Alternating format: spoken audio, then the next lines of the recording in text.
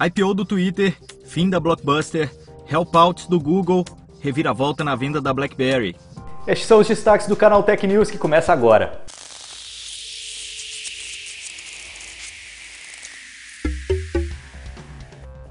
Nessa quinta-feira, o Twitter finalmente estreou no mercado de ações. Os papéis do microblog serão negociados pela New York Stock Exchange e já chegaram ao mercado com o pé direito.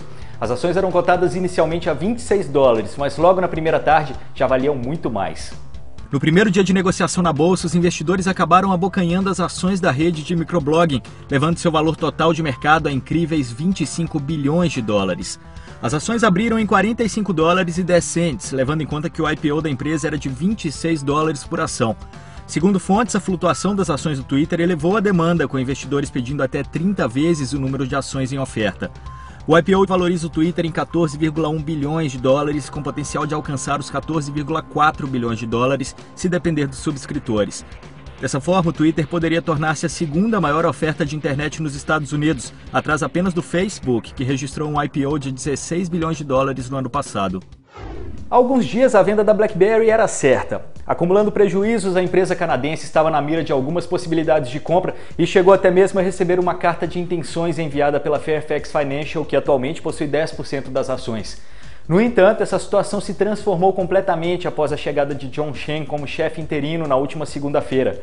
Em entrevista concedida à Reuters, Shen destaca que a empresa possui ingredientes suficientes para construir um negócio a longo prazo e diz também que já levantou uma empresa do buraco antes e que pode fazer o mesmo com a BlackBerry.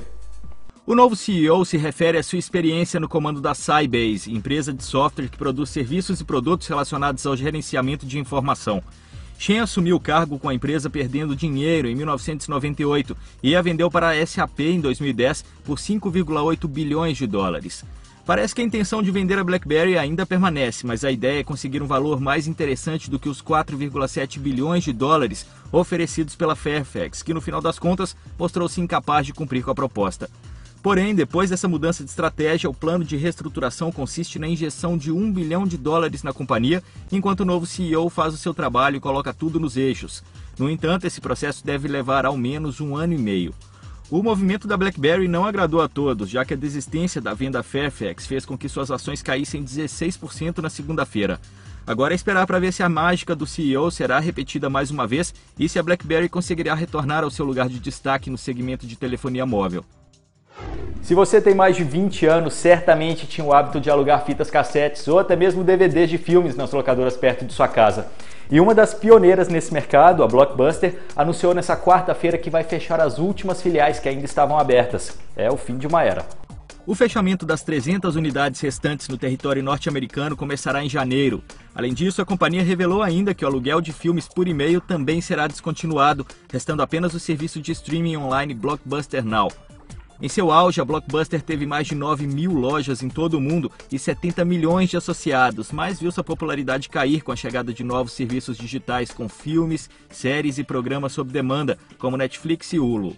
No Brasil, a rede de locadoras chegou em 1995 e pertence ao grupo B2W, que detém o direito de uso da marca desde 2007. A partir daí, todas as lojas físicas da Blockbuster no país foram fechadas e transformadas em postos de locação nas lojas americanas. Há ainda o serviço Blockbuster Online, semelhante à Netflix, que permite o aluguel de filmes e games mediante assinatura de R$ 12,90. O fim do ano já chegou e com ele as ofertas de várias lojas brasileiras com descontos e promoções naquele produto que você estava de olho. Mas é preciso ficar atento a todas essas campanhas, hein? Pois essa é uma das épocas mais propícias para que cybercriminosos consigam fazer mais vítimas. Os ladrões têm utilizado fatos reais para deixar falsos e-mails de empresas e instituições cada vez mais convincentes. Um dos últimos golpes se refere a uma suposta promoção da empresa de cartões Cielo, que convida o usuário para se cadastrar e concorrer a prêmios. Existe de fato essa campanha feita pela companhia em parceria com um banco, mas os bandidos estão fazendo uso do material como uma isca para clientes e outros internautas. O clima das festas de Natal e Ano Novo é muito atrativo para criminosos, já que as pessoas estão mais receptivas a esses tipos de campanhas promocionais. Muitas pessoas caem nesses golpes porque abriram um link falso com algum tipo de mensagem falsa. Mesmo os usuários que possuem uma solução antivírus também têm que ficar atentos e nunca confiar nessas mensagens. Você que planeja fazer compras agora no final de ano, é importante prestar atenção no seguinte: se o e-mail for enviado de uma conta de um serviço gratuito de e-mail, como Gmail, Outlook, Yahoo Mail, por exemplo, desconfie. As empresas costumam utilizar o domínio próprio como extensão do e-mail. Essa é uma forma de centralizar o mailing e também divulgar a companhia. Pense duas vezes antes de abrir uma mensagem cujo remetente não tem o arroba mais o nome da organização. Se o título da mensagem diz algo como urgente, você foi sorteado, resgate seu prêmio, coisa assim, e ainda pede para você confirmar seus dados para participar, também desconfie. Como pode ter sido sorteado sem nem ter se cadastrado? Fica alerta. Se quiser se informar mais sobre esse assunto, o Canaltech tem algumas sugestões de como evitar golpes e dores de cabeça em compras na internet, tanto em sites nacionais como internacionais. Veja os links que acompanham esse vídeo. O Google anunciou na quarta-feira um novo serviço, o Helpouts. Trata-se de uma conversa via videochat para que os usuários possam aprender e tirar dúvidas diretamente com especialistas das mais diversas áreas, desde um problema no computador até aulas de idiomas com professores nativos. De acordo com o Google, o Helpouts tem um objetivo simples: ajudar pessoas a ajudar uns aos outros. Através do Helpouts, os usuários poderão resolver seus problemas rapidamente ou ter aulas de língua estrangeira e instrumentos musicais, por exemplo. Diferentemente de vídeos tutoriais do YouTube, no Helpouts o especialista poderá ver exatamente o que a pessoa está fazendo de errado e o usuário também pode fazer perguntas. É possível escolher o auxílio dos especialistas de acordo com as qualificações, disponibilidades, preços, classificações e reviews. Além da conversa, o usuário também poderá compartilhar a tela do computador, receber ajuda na edição de uma apresentação e até gravar a sessão. O Google também promete que, se o usuário não ficar completamente satisfeito com a experiência, ele pode pedir o dinheiro de volta. A intenção da gigante da web é que o Helpout seja uma fonte de renda para médicos aposentados fazerem consultas rápidas online ou para que guitarristas possam dar aulas online, por exemplo. Os especialistas poderão cobrar por um preço fechado ou por minuto. A empresa fica com 20% do lucro. Para usar o Helpout, o usuário precisa ter uma conta no Google Plus e um Google Wallet. O serviço pode ser acessado através do PC ou qualquer aparelho Android. A Netflix está realizando testes em sua rede para verificar a viabilidade de iniciar o fornecimento de conteúdo em Ultra HD já no ano que vem. Atualmente, a empresa está correndo atrás de formas eficientes para viabilizar material com toda essa definição. O chefe do escritório de produtos da companhia, Neil Hunt, afirmou que a segunda temporada de House of Cards, série produzida pelo Netflix, já está sendo gravada em 4K. O Netflix também está em busca de possibilidades para adicionar conteúdo em Ultra HD já no primeiro semestre do ano que vem. Uma outra declaração do CEO da empresa, Reed Hastings, ao The Verge, afirma que o Netflix quer ser um dos grandes provedores de material 4K já em 2014. Em janeiro deste ano, a companhia realizou uma parceria com a Samsung e, durante a CES, demonstrou sua tecnologia de streaming em 4K ao vivo. Isso deixa nítido como o Netflix está à frente na forma de distribuição desse conteúdo, dando start para que os cinéfilos já comecem a pensar na quase necessidade de adquirir aparelhos capazes de reproduzir conteúdo em ultra definição.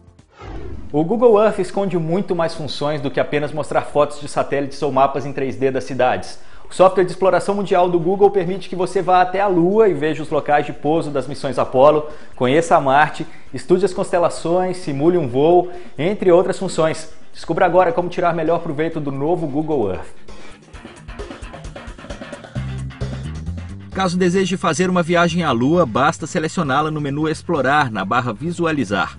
Ao chegar na Lua, você pode explorar as crateras lunares e conhecer os locais de pouso das missões Apollo.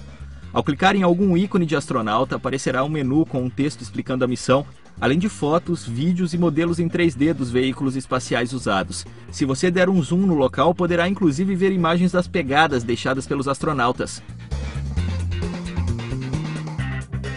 No mesmo menu em que está a Lua, você também vai encontrar Marte. Basta clicar nele para visitá-lo. Chegando em Marte, você pode ver as imagens disponibilizadas pela NASA, feitas pelos rovers e outras missões ao planeta vermelho, bem como modelos em 3D da Curiosity, da Opportunity e da Spirit. Veja ainda suas trilhas e panoramas em 360 graus da superfície. Além das imagens, você também pode participar de uma visita guiada pelo planeta. O Google Earth pode ser usado para encontrar paisagens famosas de Marte, como por exemplo o Monte Olimpo, Junto à Lua e Marte, o software permite que você explore o céu e veja as constelações, galáxias, nebulosas, aglomerados e outros astros grandes do universo. Para isso, basta ir em Visualizar, Explorar e Céu. O programa vai mostrar o céu da sua localização. Para ver as demarcações das constelações, basta desmarcar a opção Imagens do menu de camadas.